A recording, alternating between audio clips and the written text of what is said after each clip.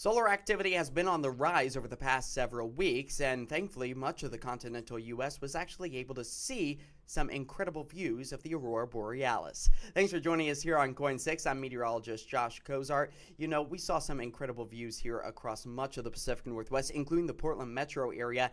And you at home, you had your cameras ready to go to capture some incredible sights. This one from KOIN6 viewer Ben Duran for sending in the northern lights out of Sauvie Island. Again, this all happened back on Friday, but we could potentially see more activity like this not only in the coming days, coming weeks, but maybe even within the coming years. It all comes down to the solar cycle, which is basically an increase in sunspots, also seeing an increase in solar flares and solar winds ramping up across much of our solar system, all courtesy to this 11 year cycle that we typically see.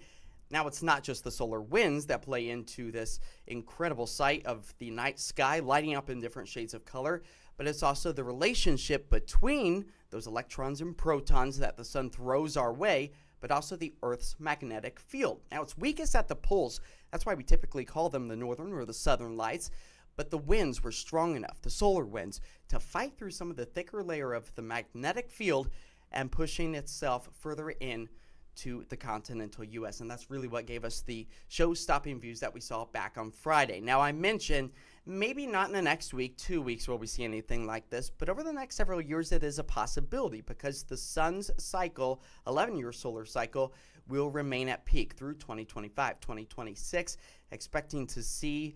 Uh, quite a bit of activity with those sunspots and solar winds really starting to ramp up. Now, it tapers back right around 2027. That's going to take us all the way through 2030 before, yet again, it starts to ramp up once again. But all of those different colors, really a good indication of the different layers of the atmosphere and the magnetic field that some of those electrons and protons had to fight through. So, different layers of that field really brought us some different shades of color that we saw across the area. And again, just truly spectacular views. If you happen to have any photos or videos you'd like us to see, you can head to KOIN.com right now where we can continue the conversation there.